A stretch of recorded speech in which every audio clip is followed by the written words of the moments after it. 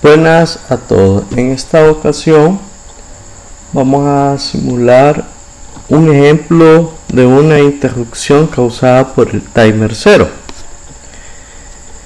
Eh, vamos a ocupar como ejemplo el ejercicio 1 de la guía aprendizaje 5 en el cual se nos pide generar una onda cuadrada de una frecuencia de 200 Hz haciendo los cálculos eh, respectivos, este, vamos a cargar el registro del timer 0 con el valor de 217 y ocupando un prescaler de 128.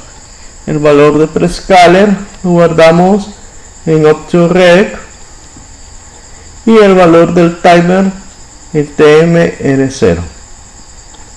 Aquí en la plantilla del procesador tenemos acá el inicio que va a la dirección 05 salta y empieza a ejecutar el programa principal que en este caso este designamos el prescaler y eh, la palabra a0 lo, eh, lo guardamos dentro del registro incom y lo configuramos para que exista una interrupción debido por el desborde del timer 0 y cargamos el timer empieza a funcionar el timer y aquí damos un lazo sin fin usando la instrucción del clear stop timer.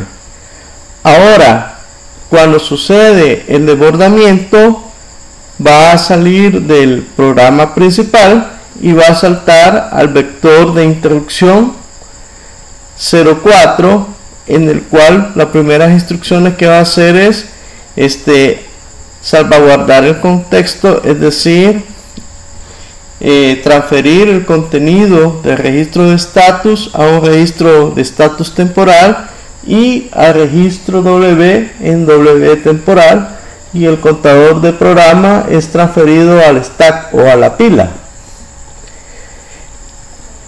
Sigue acá la, eh, las instrucciones para la rutina de servicio de interrupción en lo cual acá nosotros cuestionamos si se ha activado el desborde por timer 0 si es falso, nos vamos a la rutina de salir y acá en salir ponemos el bit guía igual 1 para que acepte nuevas interrupciones y extraemos eh, de la pila el contador de programa y los registros de estatus temporal y W temporal para guardarlos en status y en W y pueda seguir funcionando el programa principal en una forma cíclica. Vamos a construir el archivo. Ya lo estamos construyendo. Y en este caso, para visualizar la forma de onda, nos vamos a auxiliar del stopwatch y el este analizador lógico y la señal la vamos a ver en B sub 0 ya lo tenemos aquí asignado. Tenemos acá el stopwatch a la par y este las los registros involucrados. Ok vamos a empezar a simular. Vamos a dar play acá y lo vamos a detener. Acá ya tenemos una visualización de la forma de onda que tenemos en RB0 nosotros le podemos dar un zoom. Vamos a hacer un poco más grandecito. Vamos a darle un zoom. Y con estos decursores podemos ver acá de cuánto es el tiempo.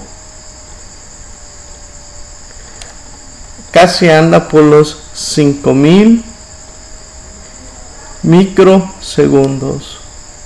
Si nosotros ocupando, ocupando una calculadora, por ejemplo aquí 5043,